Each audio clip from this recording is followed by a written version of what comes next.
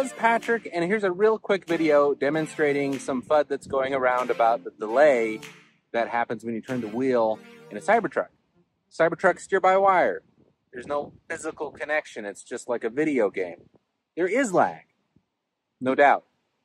Within milliseconds, Tesla was claiming like 10 milliseconds for their controls, but the new Ethernet loop is supposed to be even higher than that. So the communications is probably a millisecond or two at the most. The issue is the delay that the servos take to turn the wheels fully. So when you give the command to have it turn the wheel all the way, that's it.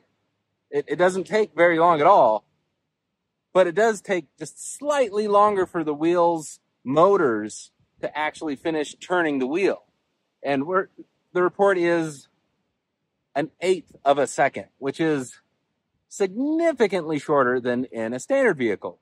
So here I am in my Lightning, and I do the exact same thing where I turn the wheel from the center all the way to the left, and it takes like two full turns of the wheel. It takes me a full second to do it. And then if I go all the way from the left to the right, we're looking at around two seconds. So where in the Cybertruck you do the same thing and you're talking a fraction of a second. So it's it's a night night and day comparison that the steer by wire is clearly faster response. There was a headline today about somebody doing autocross, which I will be doing as well in my Cybertruck, and they took fifth place, even though this is a behemoth and nowhere near as nimble as a standard autocross type vehicle. But they said, you know, the steer by wire, the four wheel steering, it made all the difference in the world.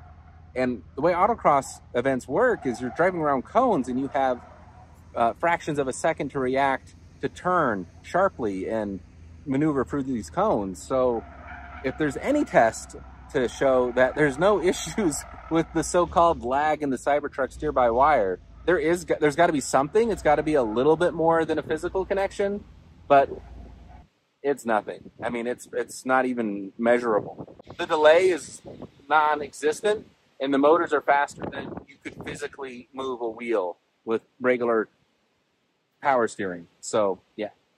Anyways, what do you guys think?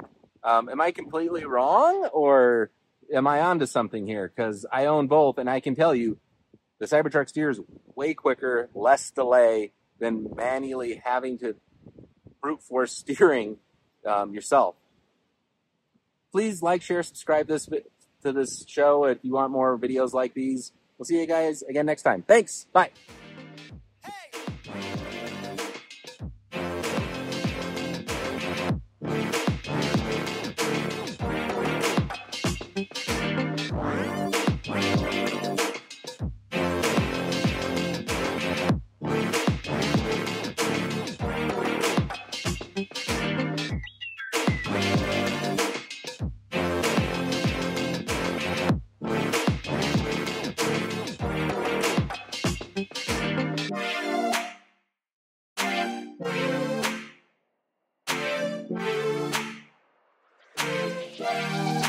Wow.